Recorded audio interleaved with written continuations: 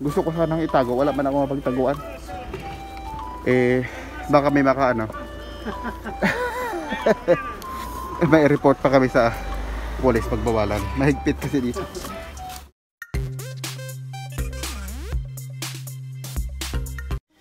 Hello, good morning po sa inyong lahat at good evening naman po sa mga kababayan natin na nasa ibang panig ng mundo. So, ayun po, no, medyo nakangiti na si Katoto ninyo. Ah, naoperahan na po si Mrs. kanina, mga around 8 dito sa Spain. So, maayos naman daw po ang ang ah, proseso ng pag-opera sabi ng doktor at stable naman daw po si Mrs. So, pasalamat ako sa Diyos at ah, ganun ang ibinalita ng doktor sa akin. So, ayun. At tinawagan ako ng mga around 4 o'clock dito. 4.30, mga ganyan. So, laking pasalamat ko dahil ah, mapayapa at ah, ligtas yung nagawa nilang operasyon kay Mrs. Siyempre, naroon pa rin yung takot ko na hindi naman natin alam, di ba? So, ganun talaga. Siyempre, lalo't ako asawa. So, hindi natin maiaalis sa akin yun na kabahan, ganun, di ba? Although nandun talaga yung pananalig natin sa sa ating ah, Panginoon.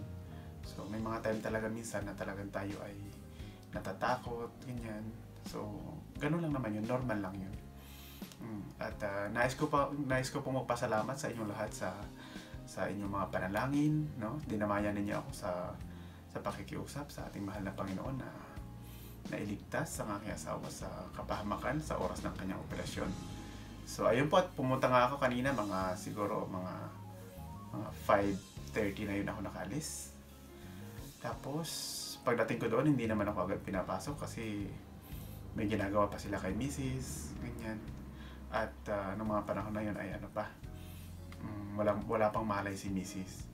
So hanggang sa pinapasok na rin nila ako, siguro almost 2 hours ako naghintay sa labas. At yung nurse ay nag-aabiso din sa akin na ah, mga ilang ano pa, ah, hintay-hintay ka lang dahil may ginagawa pa, inaayos pa yung siguro yung mga tubo na inilalagay sa kanya, mga kung ano-ano mga sinasaksak kasi ang daming aparato. Kanina pumunta ako doon. So ayun, nakita ko si Mrs. doon. Ganun talaga. Minsan ano, kumbaga eh, hindi mo talaga maiwasan na malungkot ka dahil sa sitwasyon niya. Pero ganun pa man ay nagpapasalamat ako sa mahal na Panginoon at nailigtas niya si Mrs. sa kapahamakan. No? Naging maayos, naging ah, tawag dito, smooth ang naging operasyon sa kanya. So ayun at ah, sabi ng doktor ay stable naman si Mrs. Pero kailangan nilang obserbahan within 3 days. Kasi nga syempre, very sensitive yun kasi puso. May nilagay sila sa sa puso ni Mrs. eh. Pinalitan nga yung dalawang balbula niya. At syempre open yun dito. Kaya kailangan nilang obserbahan sa ICU. So umalis ako kanina na tulog pa rin si Mrs. Kaya subukan ko uling bumalik bukas. No? Kaya ako ay nagpapasalamat po sa inyo at ah, mm, sa inyong mga panalangin, no? Sa mga dasal na ginawa ninyo na para si Mrs. ay mailayo sa kapahamakan, no? At ah, idinig, dininig naman po ng ating mahal na Panginoon ang lahat ng ating sama-samang panalangin. Basta pag sama-samang panalangin, malakas ang puwersa niyan. Yan ang ah, turong na narinig ko sa isang pare na mas maganda manalangin kung sama-sama sabi nila. No? so once again po thank you very much at uh, magbibihis na rin ako. Kararating ko lang din kasi. So again po. No, ayun no. Ingat na lang tayo palagi at tuloy lang po tayo sa pagdarasal para sa ating mga mahal sa buhay. So maraming salamat po muli at magandang gabi o magandang umaga dyan sa ating sa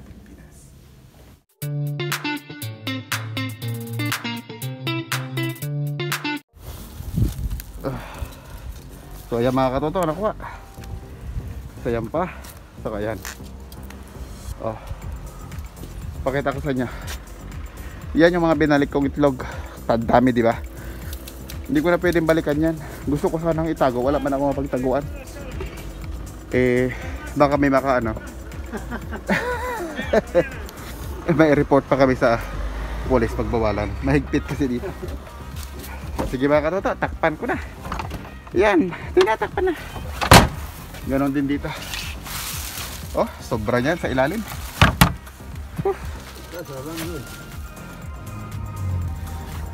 Tingnan nyo naman mga katuto ang daladalahan ko. Nandito ako sa kalagitnaan ng parke. Oh, mga itlog ang loob niyan. O oh, yan mga katuto. Doon ba kasi ako ano, sa mga likod ng building na yan. Malayo pa. Mga siguro mga 500 ano pa. Meters. Mm, yan, nasa gitna ako ng parke. Walang katao-tao mga katuto. Anong oras na ito? Alas 11 na. ah, may bus pa oh. Diyan ako galing doon. Doon sa likod ng building na yan, doon pa. Hmm. Tignan mo. O yan yung tulay, nandoon ay matanda. Dadaan doon sa kapatid niya. Dati nagsasabay kami kasi mas malayo naman yung bahay niya. O sige mga katoto at ako'y lalakad na naman. Ay, ito mga katoto ang ating nakuha oh. Ayan oh. Hey, dami na naman mga katoto. Itlog, pauna pa lang yan mga katoto. yan, itlog. Meron din tayo naging isang tsokolate. mga itlog, oh. Kala nyo. Ayan, sobrang dami niya mga katoto. Kaya lang, hindi ko na madala. Oh, grabe mga cookies. Chocolate. May ano, may ay, ang tawag dito. Yan. Isang ganyan yan mga katoto pinambalik ko yung iba at wala na akong ano, space. Mas kumuha ko ng ano, uh, itlog para maibigay natin sa ating mga beneficiary. Pero super dami nitong cookies na tumakatunto. Grabe. Hmm? Grabe yan mga katuto. Huh? Ang ganda ng, pack ng packaging. Ay. Grabe. Oh, ito naman. Eh. Ito, super dami din. Kaya lang ito lang kinuha ko at masyadong bulky sa lagayan. Oh, ah, ano din yata ito? Anim. No? Anim na ganito nakuha ko. One, two. Oh. Grabe. Sasarap yan. Siguro kung magkano to, kung may 150 din o 2 euro ang isang ganito. Ito na naman yung mga cookies, oh. Kung kinuha ko lahat, naku ko, tambak. Rambak lang dito sa bahay, eh. At mamaya, tatawagan ko yung mga beneficiary kung gusto nila.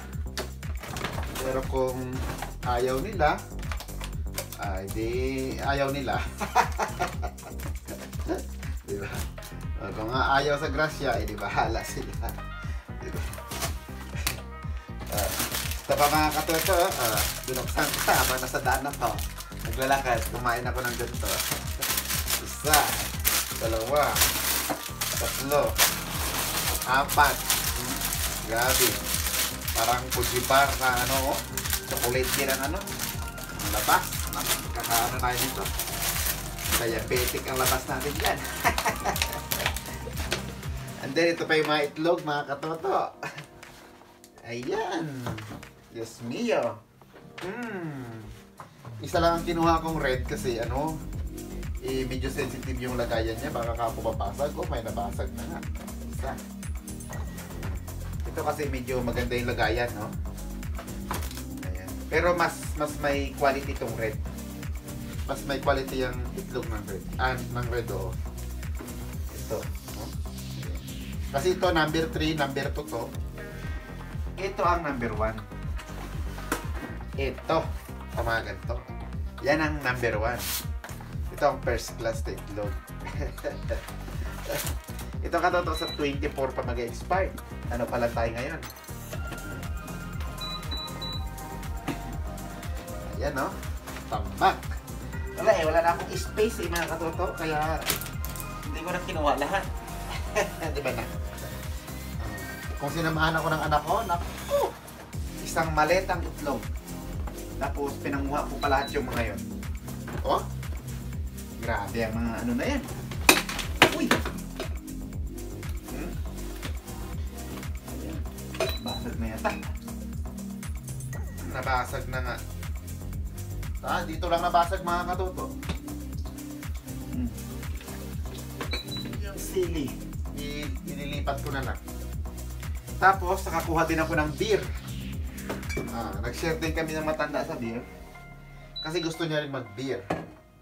Ito mga katoto, nabasag ngayon lang oh, sayang. O yung maanghang na sili. Maanghang na sili yan. Sayang. Tapos, may mga jackpot tayong ganito. Ah, ayaw ka pala sa jackpot na yan. Ah.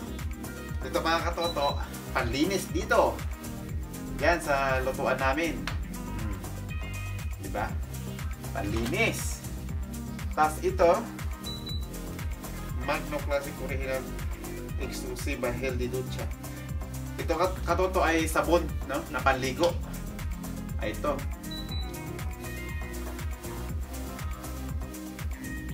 Kainaman katoto is ano to? Is Basco. Ano yan? Tawag dyan. Hirap basahin. Oh. Is Basco mga katoto at tatak. German yata yan. Tapos, mayroon tayong nakuha pa nito. No? In can na tomato sauce. Ayaw ka pa ba dyan katoto? Diba? Sulit na sulit mga katoto. Ang paghihintay. Ah. Ayan ang ating na jackpot. Matindi. Para na tayo may poultryhan ito. Mas marami yung iniwan kong itlog. Grabe. O sige mga katoto ha. Punas-punasan lang natin. Na, at nang mailagay sa dapat niyang kalagyan. So mga katoto, linisan lang natin ng ganito. Ito yung suka na panglinis. Na? Hindi yan pangkain. Ito kasi may binibintang suka na panlinis mga katoto. Ito yun. Alright mga katoto, shoutout portion and birthday greetings na tayo while cleaning our finds. Happy happy birthday po sa mga kaibigan natin na magdiriwang ng kanilang mga kaarawan ngayong araw na ito. At get well soon naman po sa mga kaibigan natin nasa banig ng karamdaman. Hi, hello, shoutout po para sa ating first viewer and commenter from the previous vlog, si Miss Ara Magistrado. Thank you, Miss Ara. Shoutout naman po para sa Lolor at Rondina family dyan po sa Malaybalay City. From Teresa Rondina of Manolo Fortich, Bukidnon. Shout out and advance happy birthday naman po this coming January 30 para po kay John Robert Cabido. From your mother, Presencia Cabido. Hi, hello. Shout out naman po para kay Miss Ana, Pepper, and Kiwi. Diyan naman po sa Valenzuela City, Metro Manila. Shout out also to Miss Ada Armada. Diyan naman po sa Iloilo. Shout out din po sa inyo, Mamina Pangilinan. Shout out at happy birthday this coming January 27. Bukas na po yan kay Ma'am Loida Seho. From your sister, Ma'am Annalyn Alcira. Shout out and happy birthday naman po this coming January 28 para naman po kay Ma'am Cynthia Torres. Yan naman po sa Tacorong City. From your sister, Mars Saho. And shoutout also para po kay Miss Loreline Bueno dyan naman po sa Baguio City. At syempre po shoutout para po sa lahat ng ating mga subscribers and viewers, especially po sa ating mga new subscribers. Thank you very much po sa patuloy ninyong pagsubaybay, panonood at suporta sa Bautista TV Spain at ganoon na rin po sa Katotos Family Vlog. Once again po, thank you very much, keep safe always, and God bless. Enjoy watching! Hello mga katoto, ito yung nakuha natin. Ah, sa itlog pa lang, kay naman, sulit na sulit. Ito mga katoto, itong ano na to, naka-box na yellow. Class A yan, ilan yan? Apat. Oh, may, number, may mga number kasi ang X dito, pakita ko sa inyo. May. Tapos to, to Class C ito. Ayan. 2, 4, 6, 8, 10. Oh, 10 box naman. Tapos to, Class B. Yung ano, yung... May mga number kasi yan, number 2. Yung red. Tapos yan, no, mga katoto, yung mga chichirya. 2, 4, 6. Uh, saan ka pa? Ang dami niyan, mga katoto. Ay, masyadong bulky, kaya iniwan ko na. Tapos ito, oh, ito wala akong tinira. Talagang sinagad ko yan. Sweets din yan. Tapos yan, napadagdag na naman sila ng ganyan. Dati, sobrang dami, di ba? Nakakuha din tayo ng tomato sauce. Tapos may beer akong isang ano, eh, tagtatlo din kami na matanda. Ewan ko kung bakit nila tinapon. Tapos to may mga tatak selecta na ito na sweets mga katoto. Ito talaga chocolate oh. Grabe. Oh. Con caramelo e chocolate con leche. Caramelo e chocolate con leche. No? Mantikilya, sari-sari mga katoto. Dami mga tsokolate. No? Tapos ito yung panlinis sa kalan. Yan, dyan sa aming kalan. Tapos ito mga katoto, ito ang bigatin. Na, tignan nyo na lang ang presyo dyan kung maligaw kayo sa sa SM o sa mall. Oh? Babasa dito is Baskop, no? Is Baskop Henkel. Uh, paki-correct na lang ako kung mali. Open naman ako mga katoto dyan. Alright mga katoto, so yan ang ating jackpot, no? Grabe ito, 27 pieces yan, oh. By ano, tignan nyo naman. Oh, 9, 18, plus ito, 9 pa din, 27. And then ito, 2, 4, 6, 8, 10, 12, 14, 16 boxes. Ayan, ang ating itlog ay 16 boxes. Alright mga katoto, so yun ang uh, pagpapala ng grasyang ibinigay ni Lord sa atin ngayong araw na ito sa basura. na masura si Katoto, sob na ang pamilya. Makatulong pa, di ba mga katoto? Alright mga katoto, good night na sa inyo. Antok na antok na rin po ako.